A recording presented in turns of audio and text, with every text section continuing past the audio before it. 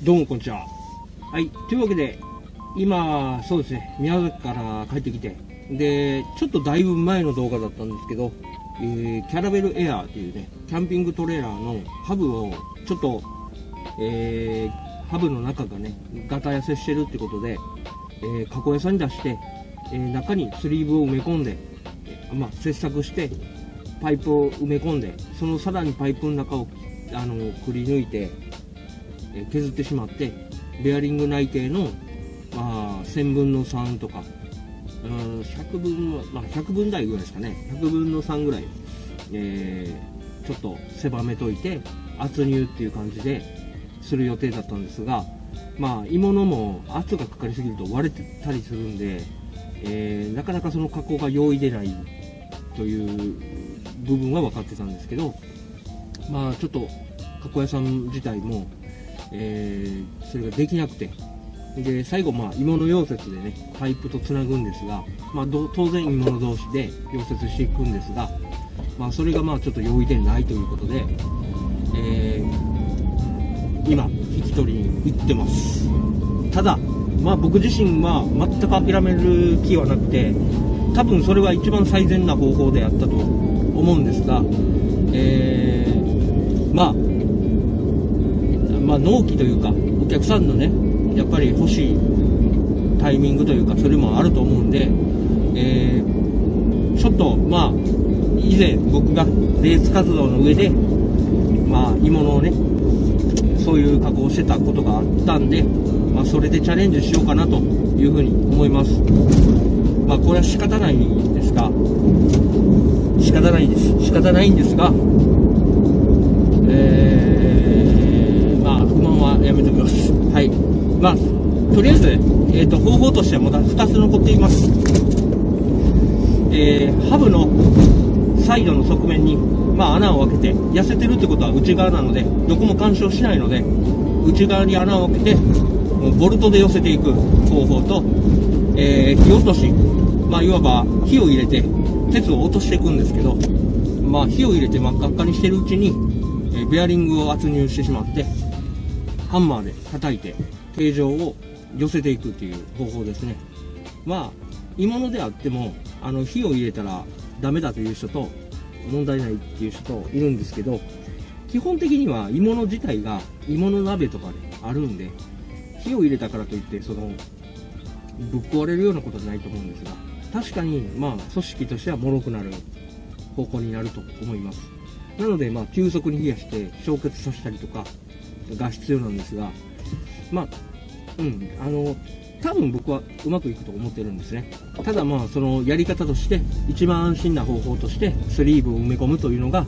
僕の中では一番安心できる方法だったんですが、本当にあの申し訳なくて、お客さんにも、えー、すごく申し訳なくて。ただまあ、今後ね、まあ、こういったことで、えー、加工できないとか、えー、連絡が取れないとか、まあ、そういったことがあると僕自身も仕事的に支障が出てきてしまうんでもう宮崎で加工機置きます。もう自分でやった方が早いんですよ。本当はダメなんですけどこういうのやってやると会社は絶対大きならないんですがだですけども、まあ、期待に応えられないことをやっても僕仕方ないと思っているんでなので、まあ、だったらえー、受けた以上はね期待に応えれるようにまあ頑張っていきたいかなというふうに思いましたなのでまあ本当にまあ賭けではないですがまあ十分安心できる強度は出ると思うんでまあ僕が今提示したやり方自体にまあ不具合はそこまで起きるとは思っていないんですが、まあ、できれば100%のね安心感をねまあ、与えてあげたかったのかなというふうに思ってます。というわけで、今から、えー、それを引き取ってくれた、たけし君が引き取ってくれてるんで、まあ、それを持ち帰って、えー、うちで加工したいと思います。まあ、仕方ないですよね。こればっかりはね。まあ、それをして、とりあえず、えー、まあ、詰めるのも0.03とか、そのぐらいなんで、多分氷結させた方が早いような気がします。まあそういうことで、今現場着いたんで拭き取って持ち帰って加工したいと思います。着いた着いた。えーとホーニングしました。えー、とりあえずこの中ですね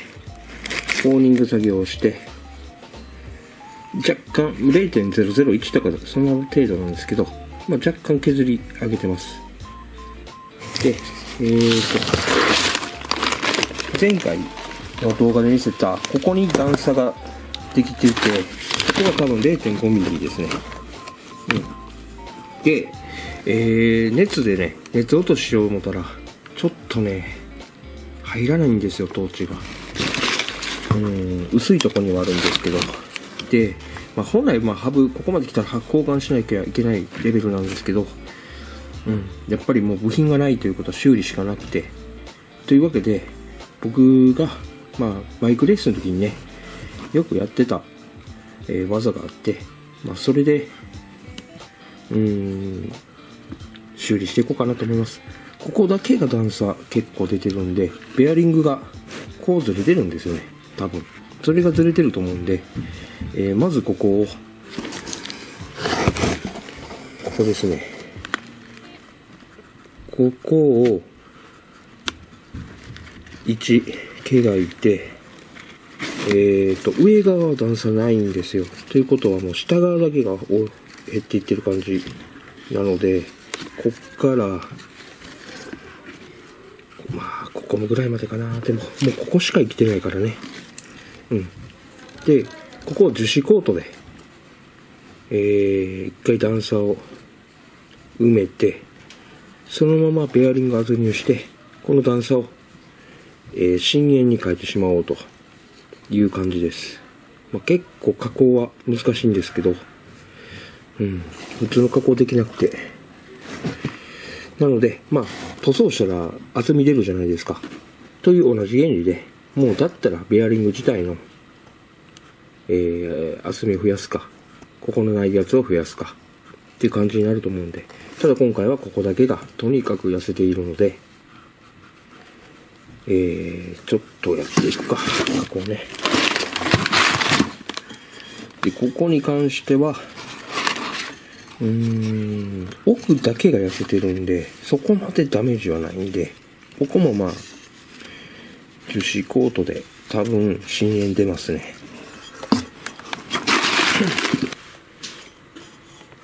でこっち側のハブは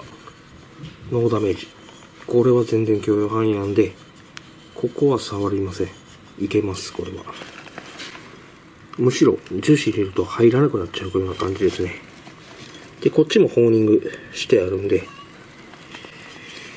うん。ホーニングも減りはしてないから、そのまま入りますわ。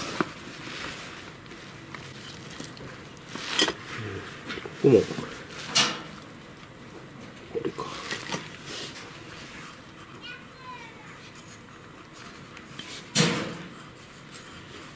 こがひどいな。こいつがひどいんやな。よっしゃ。もうちょっと削って。そこから作業ですねはいえーと一旦成形で、えー、溝を平らにしましたで今からこれをもうスピード技なんでえー、今からこいつをプレスで入れていきます。ちょっと動画が荒くなりますが、もう時間がないんで、やっちゃいますわ。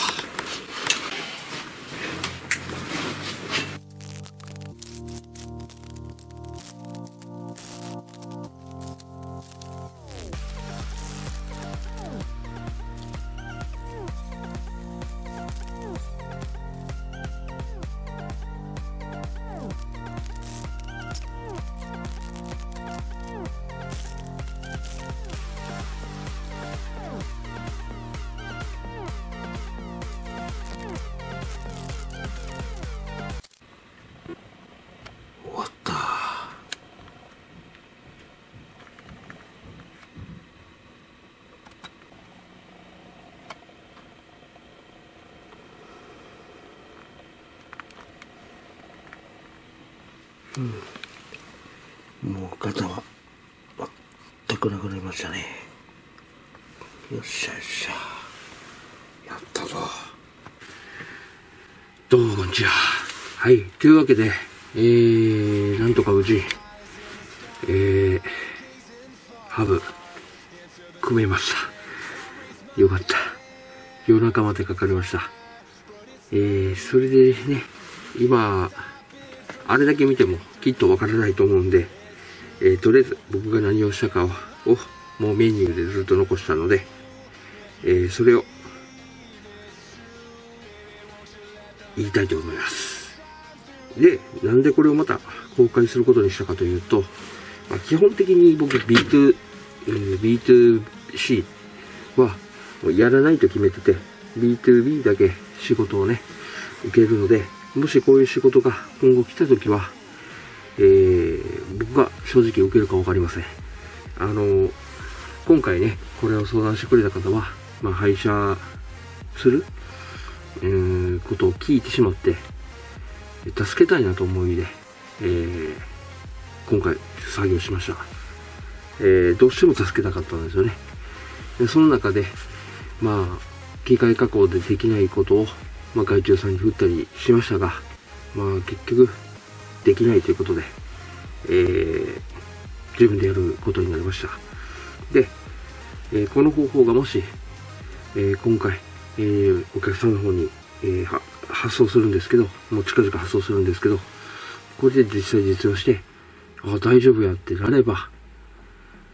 えー、安心してね、今後あの、使える技になるかなということで、今回ね、これを公表しようと思いました。えーと、まず、前置きとしては、これはなんで自信持ってできると確信したかというと、えー、昔 NSR とか、えー、まあ、要は、2サイクルですね。2サイクルなんか特にクランケースのベアリングのところがガーッとなったりとか、えー、もう交換部品がなくて、ケースが出ない場合、えー、ケースって痩せてくるんでね、クランクベアリングばっかずっと抜いてると、痩せてきてしまって、ベアリング型が出るんですね。ベアリング型っていうか、アウター型が出るんですよ。でそれを修理するのに、用いてた方法なんですね。なので、まあ、今回これでね、できたっていうので、まあ、実証できたら、使えるなということで、まあ、くれぐれもやられる方は自己責任でお願いします。で、まず僕が何したかというと、えー、一応ここにね、お客さんに今回やったメニューを全部記載します。で、この修理方法なんですが、えー、まずね、ハブベアリングホール、中をホーリングって言って、まあエンジンのシリンダーとかをね、えー、中をね、ポートを削るやつですね。シリンダーのあのピストンホールですね。を削るやつで、えー、ひたすら段差になってるところを0.5以下にやる作業です。やりすぎたら、もう、どんどんサイズがオーバーしてしまって、えー、ベアリングのガタがね、熱を帯びた時に余計ひどくなるんで、まあ、これは経験しかないんですけど、ほどほどのとこでやめるんですね。で、必ず大事なのは段差を全て消さないことなんですね。段差を残しとくんですよ。減ったら減ったらでいいんで、残しとくことなんですね。で、次、えー、ハブベアリングボールのアウター側からバーナーで炙るんですね。アウター側からバーナーで炙ると、そこが赤くなります。いいものですけど、基本的に火入れたらダメってことはなくて、問題があるとしたら、火を入れたらサイズが急にちっちゃくなったりとかするんで、いいものは。なので、まあこれも経験なんですけど、もうあからさまに1300度とか1100度とかやってしまうと、えー、消結した時にめっちゃちっちゃくなったりとかして、歪んだりとか、もう全然考えられるんで、まあ、これは、もう経験によりサンプルを使ってもらった方がいいかもしれないです。で、このバーナーでハブベアリングホールを赤くなったタイミングで、えー、先ほど説明した、こういうすり減って広くなったところを横から打ち付けて、サイズをちっちゃくする。で、これも0.1ぐらいはちっちゃくなるんで、叩きつけて、えー、全周に、えー、特に出ている、減っているところをめがけて叩けば、えー、クリアランスが縮まります。で、これでスポスポ抜けてたベアリングが若干引っかかりを帯びるようになります。これを完全にプレス機じゃないと入らへんぐらいまで寄せていくっていう方法です。で、このハブアウターが、えー、70度付近になった頃にビニールエステル、耐熱ビニールエステルっていうのにガラスパウダー、カーボンパウダーを混ぜたものを外周に塗っていくって感じです。で、塗った後に、えー、70度って言ったんですけど、この70度付近から、えー、自然の、まあ、余熱でね、これ固まっていくんで、